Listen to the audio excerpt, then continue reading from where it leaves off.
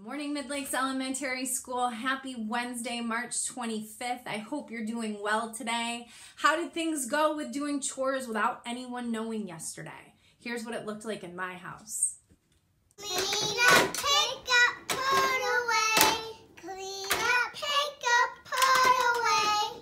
Today's act of kindness is all about staying connected to friends and family. Whether you're using Zoom or Seesaw to stay connected with your classmates and your teachers, keep up the good work. I hear it's going great.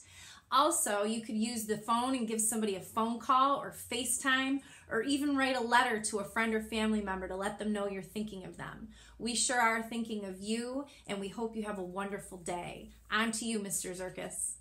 Hey, Mrs. Benzer, what a great idea. I'm going to try calling one of my school buddies right now. Let's see if he's available.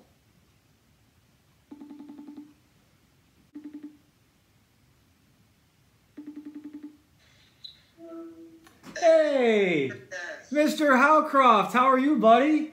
Good, how's it going? Good, just wanted to reach out to you. Didn't know if you'd want to do the birthdays for today. Oh, I'd love to. All right, well, here he is, MES.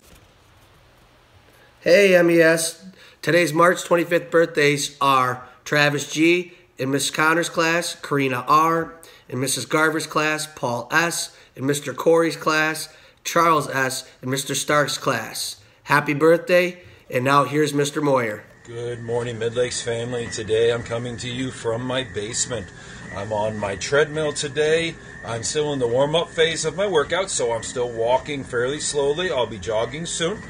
Um, please remember, it's important not to sit on the couch all day. It's important not to play video games all day if you can avoid it. Try to get up, move around, spend some time being active, get outside, get fresh air.